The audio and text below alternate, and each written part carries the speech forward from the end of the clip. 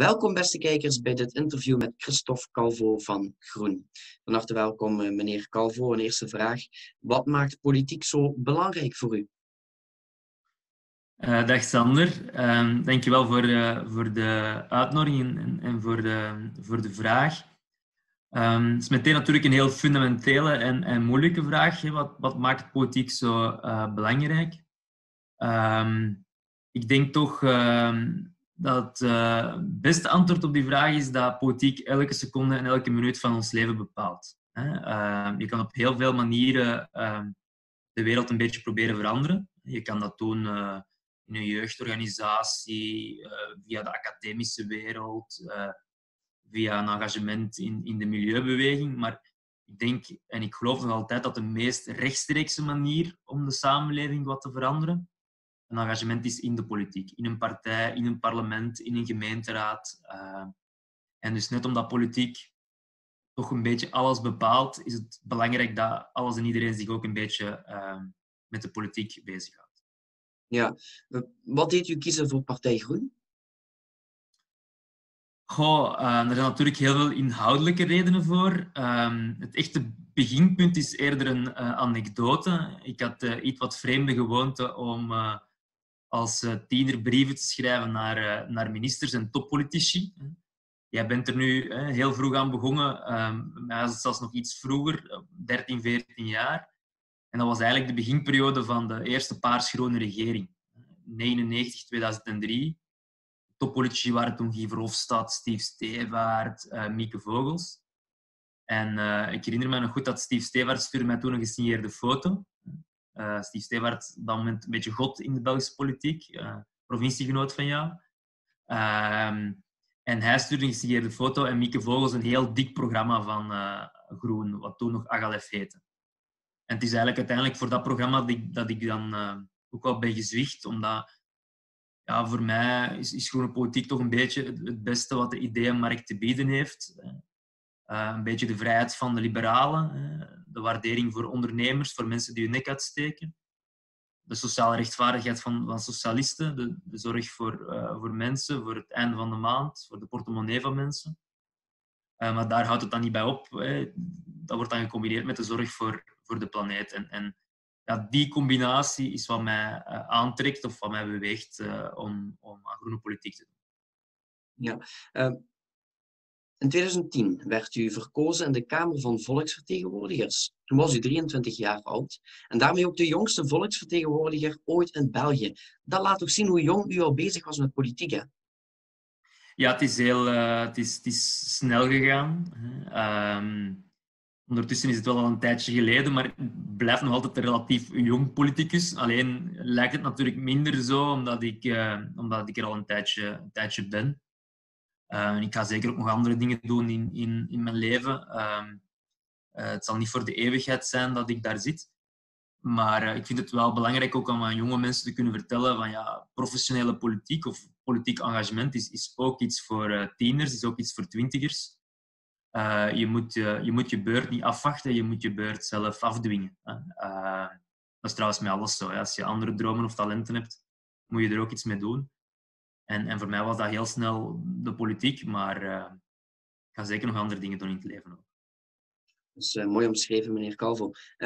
Partij Groen hamert echt op die kernuitstap. Waarom moet die uitstapdeadline van 2025 echt behaald worden? Ja, de, de kennisstap is eigenlijk geen doel op zich. Het lijkt misschien soms zo, maar het is eigenlijk vooral een, een middel. En, en die kalender is ook geen, geen, geen fetish. Alleen, uh, dat is net zoals je een examen moet afleggen. een deadline eh, werkt wel om resultaten te boeken. Hè. Uh, je moet wel ergens naartoe willen uh, om ergens te geraken. Um, en waarom is die kernuitstap een belangrijk middel? Omdat het de baan vrijmaakt, letterlijk en figuurlijk, voor, uh, voor hernieuwbare energie. En, en, die hernieuwbare energie is een, bron van heel veel banen, is een bron van, van hoop, hè, denk ik.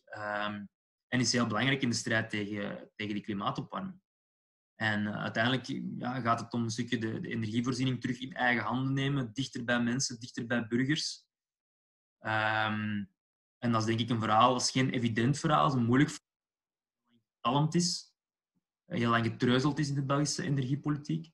Maar het is denk ik wel een heel kansrijk verhaal. We hebben heel veel troeven om, om helemaal bovenaan de rankings te staan. Um, mijn collega Tine van der Straten, die nu energieminister is, uh, verwijst er vaak naar. Bijvoorbeeld, we zijn nu al koploper op vlak van windenergie op zee. En, en ja, dus België heeft alle troeven om, om Champions League te spelen. Ja, um, Groen zit eigenlijk voor het eerst in een uh, ja, regering, een federale regering. Hè? Wat betekent dit voor de partij? Voor het eerst sinds, sinds lang. Hè. Dus we hebben al eens geproefd van een regeringsdeelname uh, tussen 1999 en 2003, maar dat is ondertussen een eeuwigheid geleden. Uh, voor, jou, voor jou al zeker. Maar dat was, dat, dat was niet als Partij Groen, toen had het nog een andere naam dan. Toen had het nog een andere naam, klopt. Ja. Um, maar dus uh, voor onze partij en voor onze beweging is het, een, is het inderdaad de tweede keer, maar de eerste keer sinds, sinds heel lang. Um, en dat verandert natuurlijk heel veel. Hè. Ons, ons politiek systeem is nu eenmaal zo georganiseerd dat je toch veel meer kan wegen vanuit de meerderheid, vanuit de regering, dan vanuit de oppositie of dan vanuit het parlement. Dus het geeft ons de kans om meer van onze ideeën te realiseren. Uiteraard niet ons volledig programma, dat zou ook saai zijn. Het is ergens ook mooi uh, en, en, belangrijk dat je compromissen moet afsluiten, dat je moet zoeken naar overeenkomsten. Um, en in het regeerakkoord is dat alvast, denk ik, aardig gelukt. Um, doorbraken op vlak van klimaat, meer ambitie op dat vlak. Ook wat belangrijke stappen vooruit. Uh, sociale thema's. Hè. We gaan de pensioenen verhogen, beter strijden tegen armoede. En voor mij ook wel heel belangrijk, uh, een aantal belangrijke stappen vlak van democratische vernieuwing. Hè? Want niet alleen het beleid moet veranderen, niet alleen de politiek moet veranderen wat, wat we doen, maar ook hoe we het doen. En, en, en daar zit, zetten we denk ik nu toch wel een aantal belangrijke stappen. Het is nog niet genoeg. Mag voor mij zeker soms wat sneller gaan en wat, wat radicaler zijn ook. Um, ik denk dat de partijpolitiek een beetje versleten is, dat we die echt moeten gaan vernieuwen en hervormen. Maar een eerste reeks stappen zetten we denk ik toch wel uh, in het regeerakkoord. Ja, Tijdens de vorming van regering De Croo werd u eigenlijk meermaals eh, genoemd als mogelijk minister en vicepremier. Ja, maar uw partij kost dan toch uiteindelijk voor andere namen. Uh, dat was een persoonlijke ontgoocheling, uh, gaf u aan. Uh, en dat valt ook te begrijpen als we kijken naar uw politieke loopbaan. Dat u zeker kans kunnen maken natuurlijk. Maar heeft het Christophe Calvo sterker gemaakt? En op welk vlak dan? Ja, het is inderdaad een publiek geheim dat het een teleurstelling was, ook door de manier waarop een en ander is, uh, is gelopen. Um, en ja, bon, je leert uit elke ervaring, dus zeker uit, ook, ook uit zo'n ervaring. Hè. Dus um, het is een teleurstelling, maar tegelijkertijd zie ik ook wel heel veel mogelijkheden om vanuit mijn huidige functie, vanuit mijn huidige rol, de dingen in beweging te krijgen. Um, het is een eer om volksvertegenwoordiger te zijn. Er zijn maar 150 Kamerleden, er zijn minder Kamerleden dan er profvoetballers zijn uh, in ons land. Dus het blijft een, uh, blijft een voorrecht. En ik, ik, ik geloof ook heel sterk in, in, in, in die regeringsdeelname. Ik had er graag zelf deel van uitgemaakt, net omdat je dan ook veel meer kan wegen. maar ik geloof wel heel erg in, in, in, in deze regeringsdeelname en in, in, in, deze regeringsploeg ook.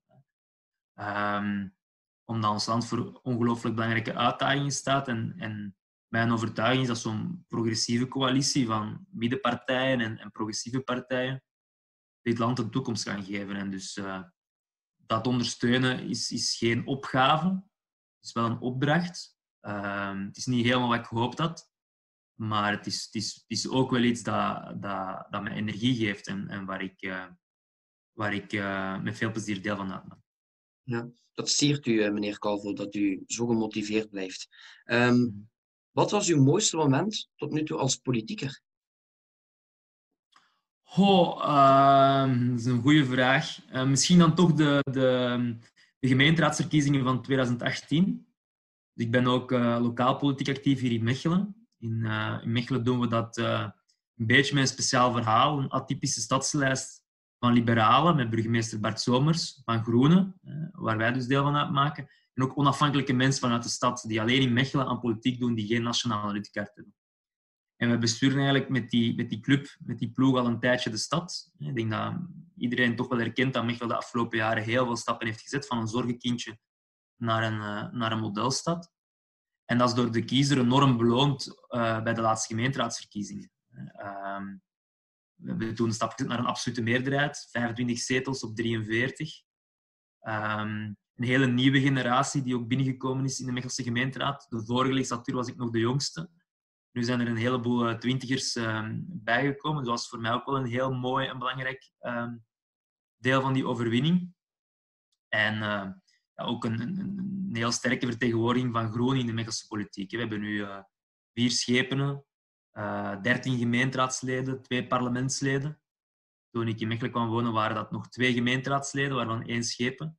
En als je zo'n groei kan realiseren, als je zoveel steun krijgt van in, in je stad, dat doet dat wel, dat wel deugd. En ik, ik geloof ook wel heel sterk in, in lokale politiek. Kan je het jou aanbevelen, kan het jou, jouw kijkers aanbevelen. Uh, lokale politiek is een, is een experiment, is een, is een laboratorium.